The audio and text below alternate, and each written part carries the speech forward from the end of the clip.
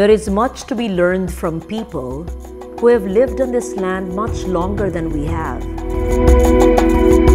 A knowledge that manifests itself not only in their relationships with nature, their songs and epics, their technology and creations, but in their very survival.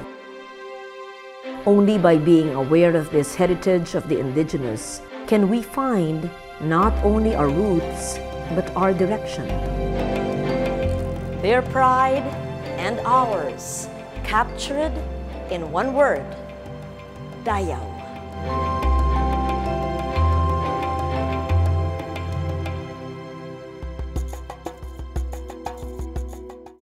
When you take a look at a piece of hand-woven textile, what do you see?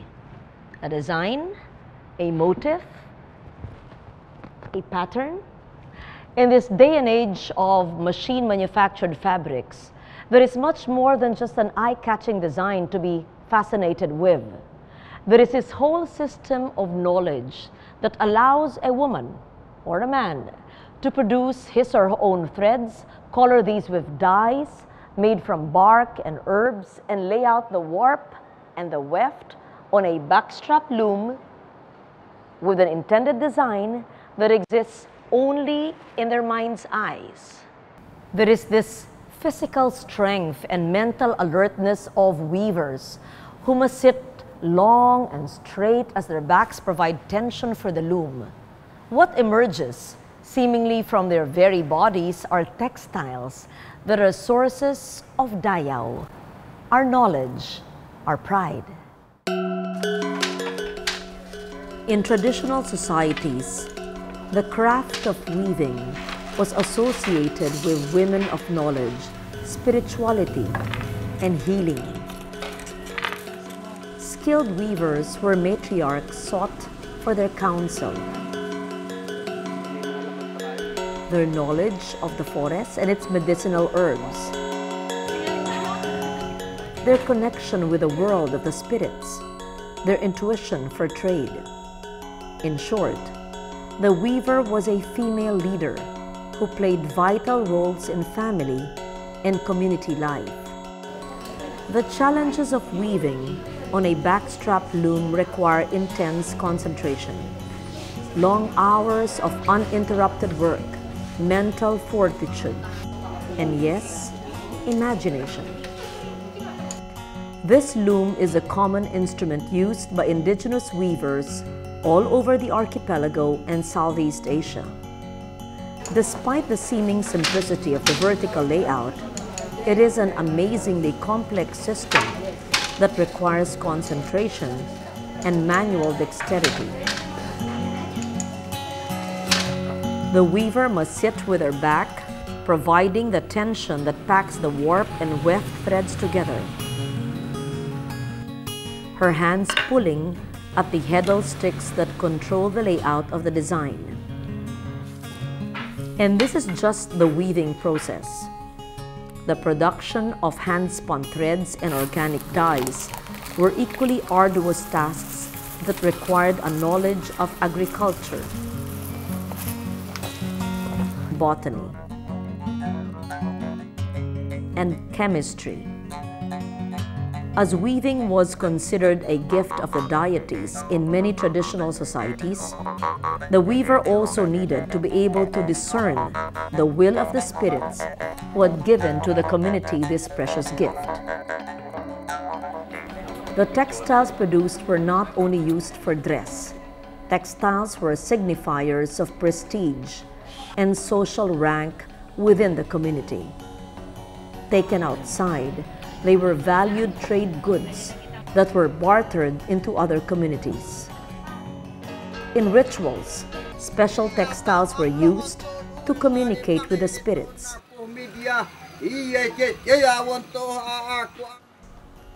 In death and in birth, bodies were wrapped in specific and symbolic fabrics.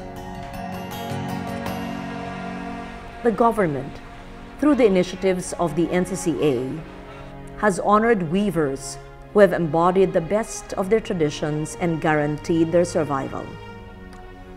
Two of these recipients of the Gawad Manlilikha ng Bayan specialized in weaving of abaca textiles. The abaca fiber is an exceptionally difficult fiber to produce and to weave. The weaving of it is practiced by the groups of Highland Mindanao, the Bagobo, Tibolis, Mandaya, Subanon, and Bilaan. Salinta Monon was a Giangan Bagobo woman who specialized in the dense weave with patterns from ethnic templates. Lang Dulay, a Tiboli, had mastered the production of the large-scale traditional designs of her people in all their dazzling complexity. Both women were recognized for both their technical skill as well as their artistry. Both produced their own fibers, dyed these according to their knowledge of herbs and natural materials. Both set up their own looms and laid out the threads. Both were proponents of the ikat technique of weaving.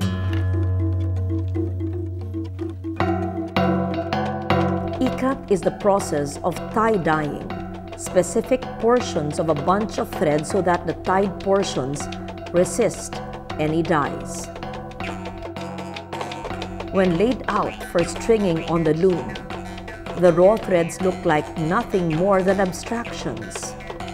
But in the positive and negative portions lie the blueprint of a textile that when finished can only be described as complex, whole, integrated, and nothing short of amazing.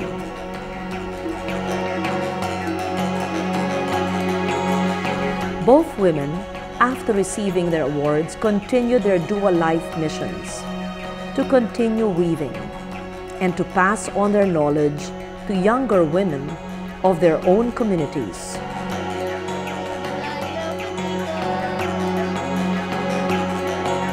Sadly, both Lang Dulay and Salinta Monon have passed on, but their handiwork and their wisdom live on in the hands of younger weavers.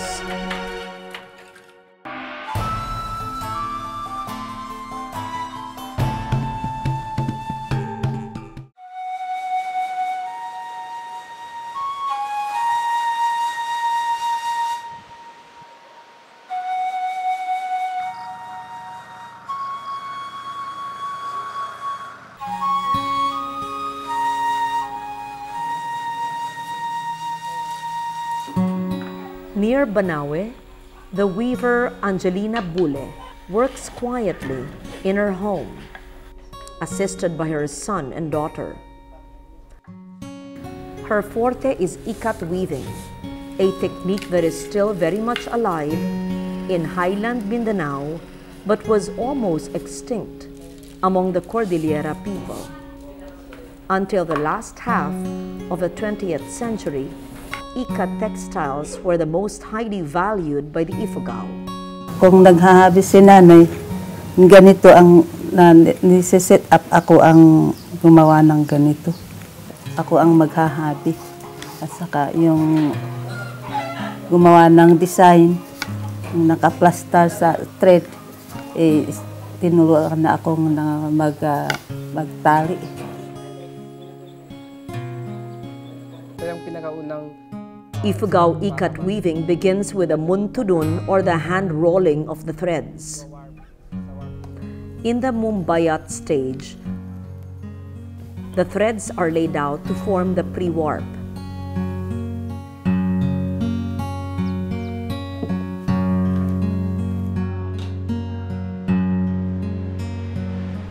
Then the most difficult stage, mumbubud, or tying the warp so that it can resist the dyes.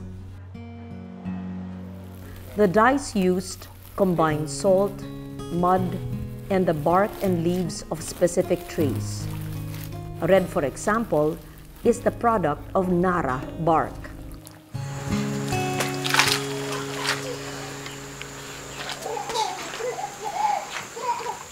pumasok sa loob yung kulay niya.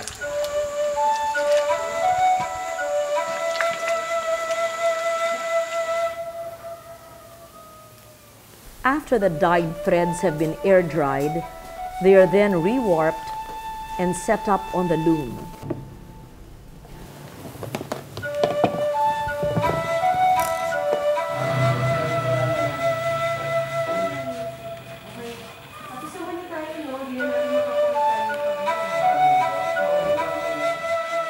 Only when the warp and weft are precisely laid out can the process of weaving or monhabol begin.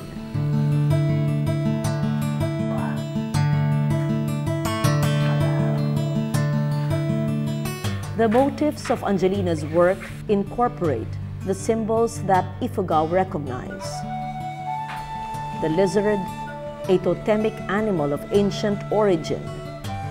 The mortars and rice sheaves that signify bounty the mountain ranges that make up their home.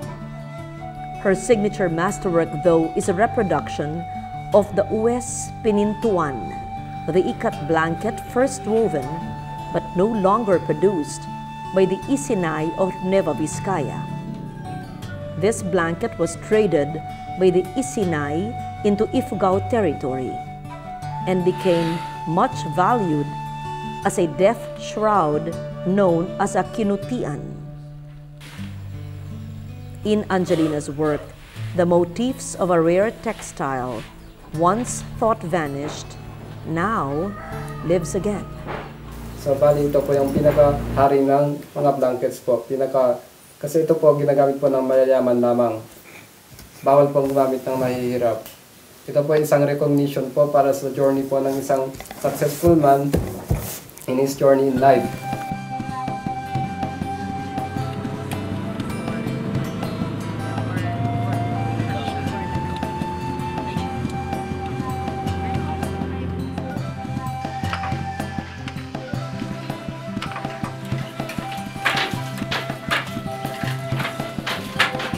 In Ilocos Sur, in the town of Kawayan, weavers, both young and old, take their own weaving traditions into the future. The spare, striped binandera designs of the Ilocos peasants is their forte. But newer elements are being added because the market for handwoven textiles from the Ilocos demands innovation in color, in texture, in pattern. Inabel, the term for handwoven fabric from Ilocos, mirrors the stoic simplicity as well as the resilience that characterize the Ilocano. The loom used is very different from the backstrap. The frame looms are large enough to sit on and are operated by the feet of the weaver, as well as by the hands. It is known as the pedal loom.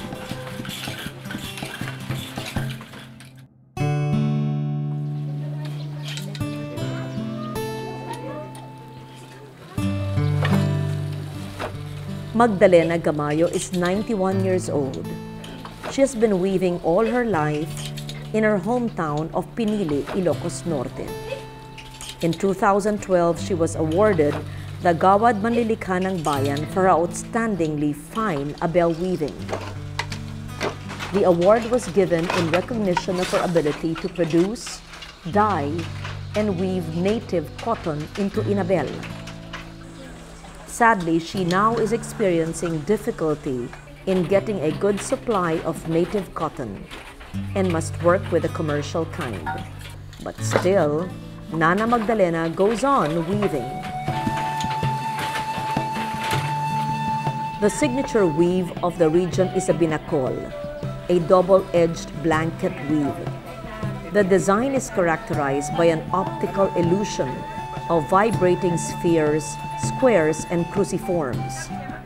The kusikos, or whirlwind design, is a binakol variant, influenced by the neighboring Tingguian of Abra. The design has been likened to op art because of the seeming vibrations and movement that echoes the volatility of the whirlwind. And to create the whirlwind, it takes the experienced eye, the quiet calm of older weavers, passing on their visions and their knowledge to their younger counterparts.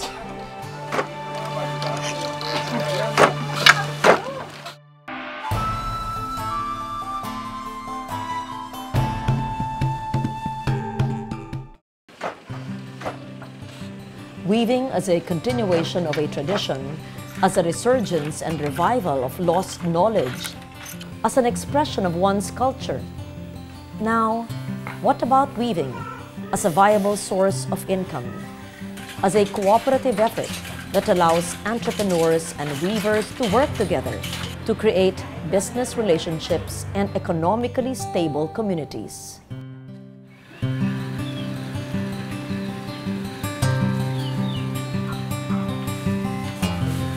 In Arevalo, Iloilo, the signature weave is called hablon.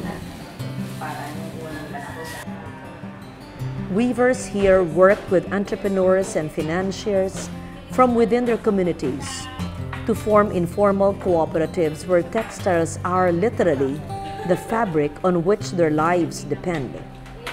Mrs. Cecilia Hison Villanueva is one such entrepreneur who empowers the weavers. I do not know how to weave. I just manage. But I am the one making, uh, the, uh, maybe, uh, giving them the design, the color, and what item to weave. Because I am the one attending to the customers. So I adjust to what my customers like or what are they interested, like the barongs for men. I also make colored barongs. I supply them the materials, the loom, and uh, I give them the design. And then once they finish, they bring it here, and I pay them by the piecework. And their, their pay is, depends on what kind of work. If it is so uh, intricate, so they have a higher pay. It's a simple one. It depends on what kind of item I order.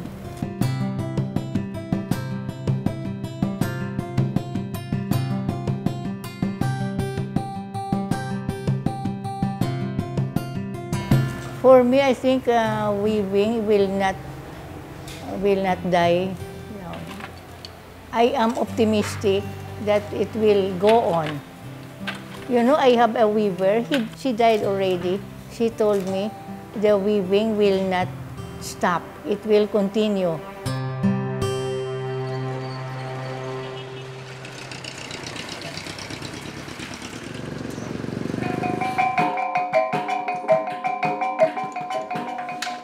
in Barangay Tamontaka in Cotabato City, by Albaya Wampa of Inaul Weaving talks about the practical concerns when traditional designs must conform to modern tastes.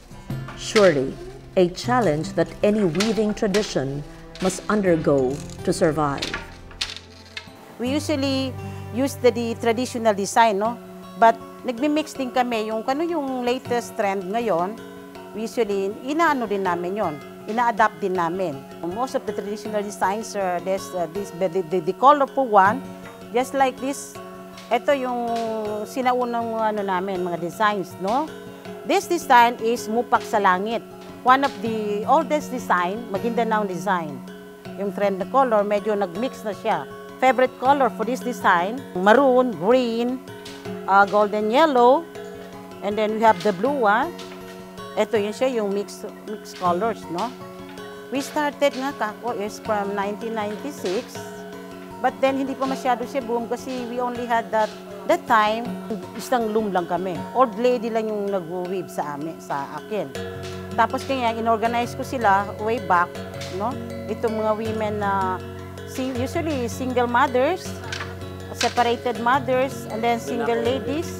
Yung mga Muslim, tri-people kami in the sense that yung mga itong organization is composed of tri-people actually ang mga officers dito being me being the founder founding president Meron kasi akong ah, kaibigan na mga Christian, kasama sila sa set of officers nitong Aljamela. Kami-kami yung nag-ano nito.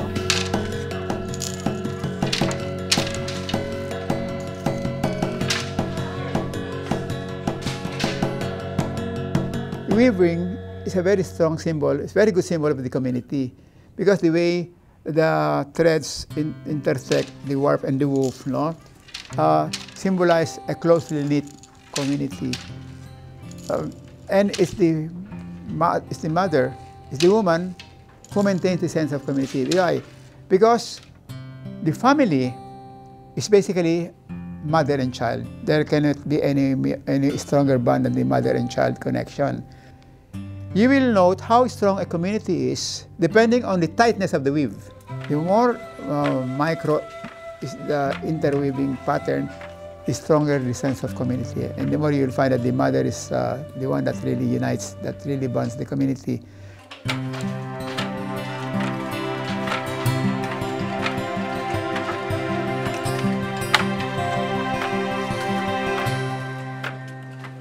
I'd like to think of the looms as the early computers and of the weavers as the early programmers. Guiding their efforts were nothing more effective than feminine intuition, shared knowledge, and imagination. Sadly, other factors like war and violence, poverty and marginalization, even apathy, are constant threats to the preservation of this ancient feminine power. And yet, these weavers endure and continue. Strong women, leaders, survivors, proud carriers of Dayaw, our knowledge, our pride.